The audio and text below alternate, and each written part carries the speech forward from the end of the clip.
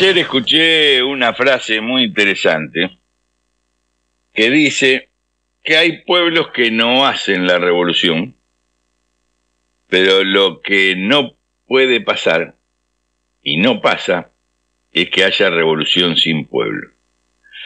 Y me pareció muy interesante para, para contrarrestar o para poner en, en foco aquellos que creen que accediendo al control del Estado, digo, tampoco al control del Estado porque está privatizado, acceder a los espacios de gobierno legislativos y ejecutivos alcanzan para transformar la sociedad y hacerla igualitaria. Creo que es insuficiente sin el pueblo. Estamos en una semana importante de derechos humanos, muy importante porque se ha concentrado el debate sobre los derechos humanos en Buenos Aires.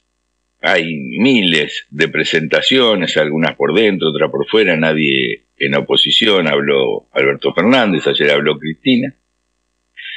Y creo que es, es muy, muy, muy, muy importante que en el tema de derechos humanos eh, vayamos ajustando las posiciones. Coincido totalmente con el diagnóstico que hace Cristina Fernández de Kirchner, que plantea, ya desde el título de la convocatoria, que eh, lo que antes hacían los militares ahora lo hace el Partido Judicial.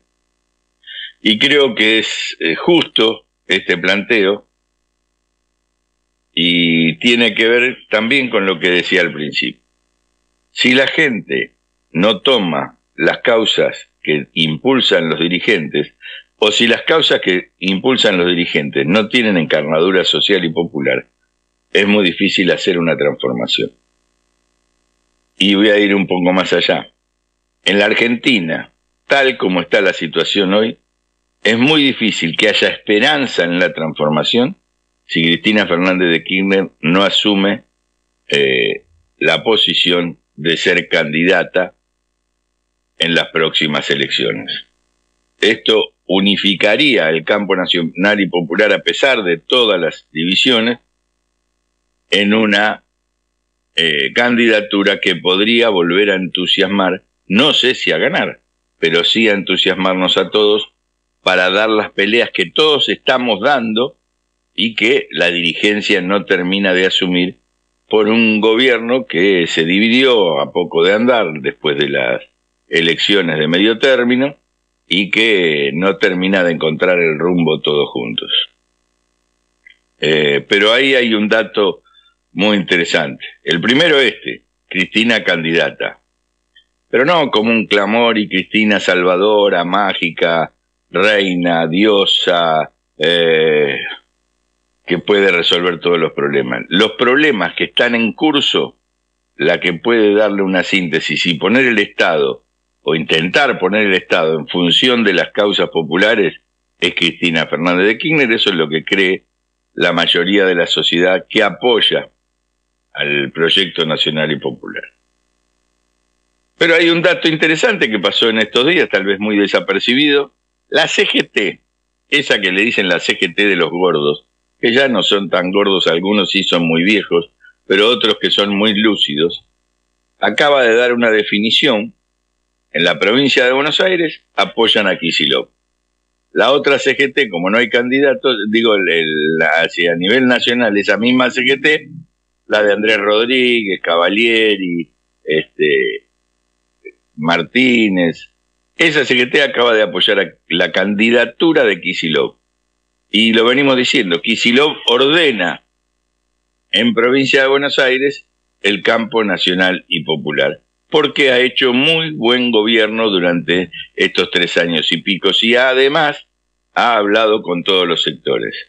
Por eso, Cristina, candidata a la presidencia, y Kisilov ratificándolo a aquellos sectores que no son tan eh, claramente explícitos muchas veces para hacer política, explicitaron en la voz de Andrés Rodríguez antes de ayer, cuando fueron a la asunción de la CGT en La Plata, de la provincia de Buenos Aires, el apoyo a Axel Kisilov y Axel Kisilov estaba presente. No es un dato menor, no es un dato menor porque hay sectores del kirchnerismo puro y duro que quieren que Kisilov sea candidato a presidente.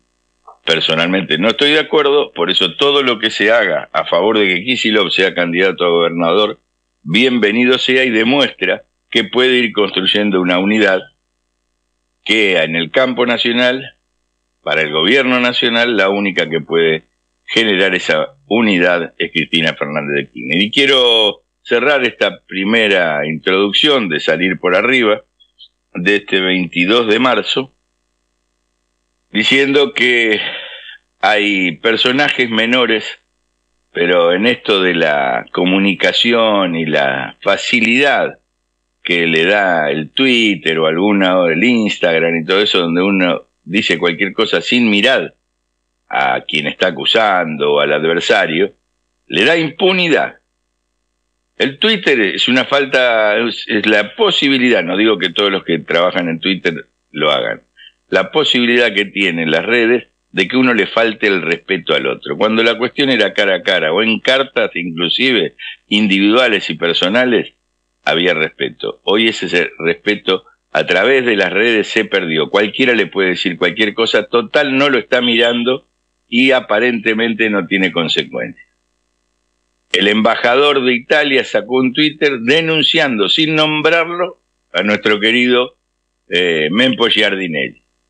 Yo lo vengo siguiendo a Mempo porque, bueno, ustedes saben, es uno de los columnistas de los lunes y además escribe y también estamos juntos en la mesa del Paraná. Así que más o menos voy siguiendo donde hacía presentaciones en Lisboa, en, en Italia, en distintos lugares de Italia y que venía el viernes y tal como él dice, lo invitaron a la presentación de 1985, él dijo que sí, pero que si le podían dar la noche en la embajada, porque lo salía, lo sacaba de su circuito organizativo, y el embajador Carles, un personaje muy menor de la política, pasó al centro de la escena y acá nosotros, Cristina, todos acusan al lawfare, pero nosotros también, cuando hacemos esas cosas como hizo Carles, el embajador argentino en Italia, contribuimos al lawfare porque dijo una cosa mentirosa y además dijo que no iba a decir quién era, pero mandó a los medios el nombre de con quién se estaba peleando a través de un Twitter enigmático, entre comillas. Y eso es una vergüenza. Carles, que es un frustrado candidato a la Corte Suprema de Justicia, impulsado por Cristina cuando se bajó eh, Zaffaroni, cosa que tampoco coincido, me parece que Zaffaroni cometió un error histórico al bajarse de la Corte Suprema de Justicia porque nos quitó la posibilidad al campo nacional y popular de tener un hombre de leyes, constitucionalista, eh, honesto, y él respetando la norma de los 75 años se bajó, este, y la verdad que nos quitó la posibilidad de tener, como digo esto, un miembro en la Corte Suprema de Justicia eran tres, cuatro, tenía peso. Carles fue propuesto por Cristina en acuerdo con Alberto Fernández y con el Papa. Sin embargo, Carles en Italia, que nunca se peleó con nadie porque no ha hecho declaraciones con nada, se las carga a Mempo Giardinelli. En defensa de Mempo Giardinelli, Carles, sé más cuidadoso y elegí al enemigo que tenés que elegir. Mempo Giardinelli no es el enemigo del campo nacional y popular. Vos sos parte de este gobierno. Elegí pelearte con los que impidieron que vos fueras miembro de la Corte Suprema de Justicia y no con un militante del campo nacional y popular como Mempo Giardinelli.